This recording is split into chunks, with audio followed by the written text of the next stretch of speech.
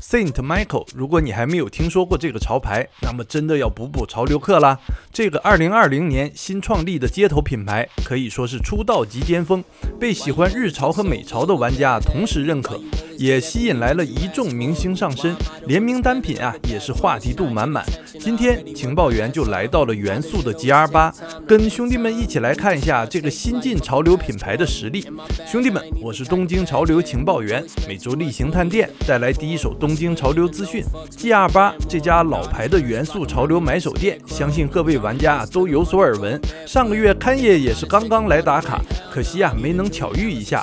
果然一进门，Saint Michael。就摆在最主推的位置上。在细聊一下这个单品之前啊，咱们先一起补课一下这个品牌的两位主理人，那可都是大有来头。Saint Michael 呢是由 Ready Made 主理人细川雄太和洛杉矶艺术家 Kelly DeWitt 于2020年联手新创立的品牌。先说一下 Ready Made 这个品牌，2013年从 Remake 起家。最擅长的就是神乎其神的军事风做旧工艺。细川雄太呢，一直执着于古着款的质感。品牌最开始出圈的就是古布缝制的爱马仕香奈儿的包款，很快就从日本红到了美国，跟 Travis Scott 合作，跟 Bape 做的一系列联名也是很受追捧。细川雄太的大名啊，也是渐渐跟 Nigo 一样，同时被日本和美国的潮流圈认可。去年也在村上隆的支持下，第一次举办了个人画展。可以看到街头涂鸦的风格啊，跟 Saint Michael 如出一辙。而另一位 Kelly DeWitt 则是一位出名的专辑封面设计师，也是为 Kanye West 设计了唱片周边商品等等。可以说啊，嘻哈摇滚音乐圈的朋友圈也是安排的妥妥的。二零二零年。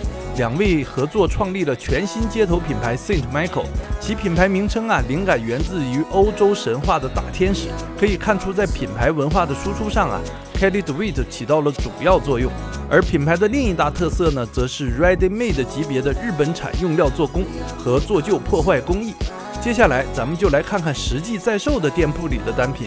一进来啊，就看到在主推的夏季短袖 T 恤摆得整整齐齐，宗教风格题材的 T 恤啊，自然是不能少。T 恤图案的画风也完全是上世纪的 Vintage T 风格。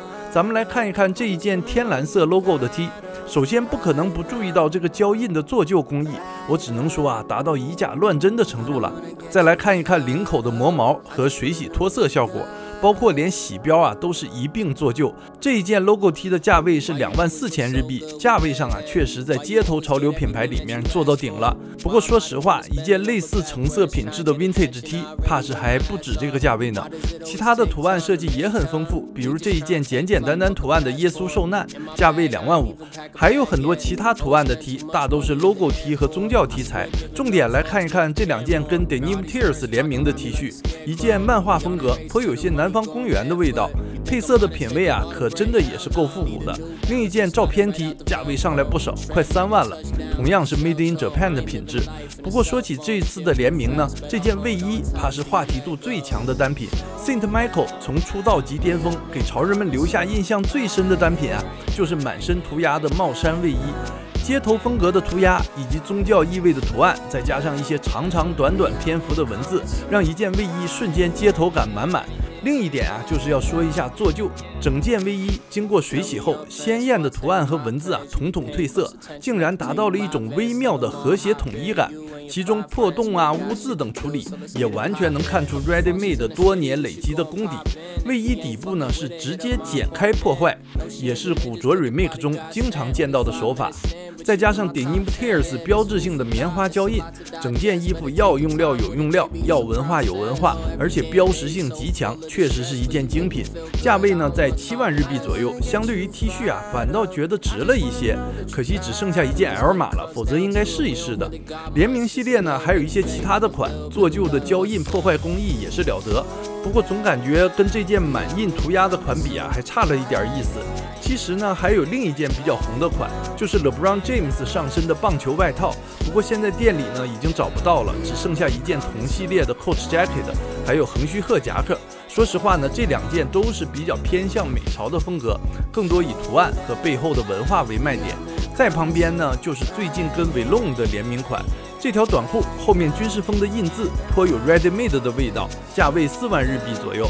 还有同系列的帽衫卫衣，价位六万日币左右。这件还有大码的 XL 码，机会难得，我也来试穿一下。可以看到。品牌的版型呢，并不是走 oversize 风格，XL 码对我来说啊是刚刚好的合身。